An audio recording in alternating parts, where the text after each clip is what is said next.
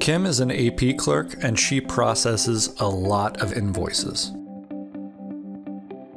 The invoices are scanned in, data captured, added to the M-Files vault, and automatically added to her new invoices queue.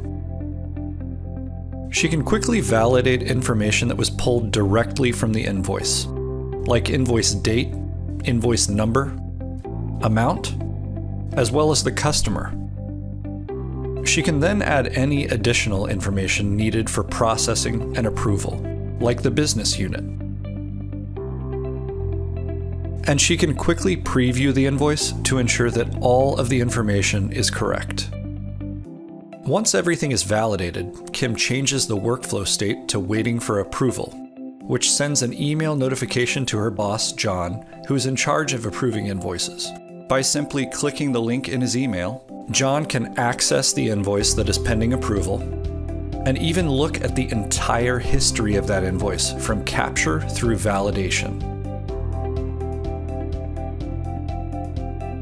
Once John ensures that everything looks good, he can approve the invoice for payment. Automate invoice processing and approvals, and process invoices quickly and accurately. With Toshiba's automated accounts payable solution powered by M-Files.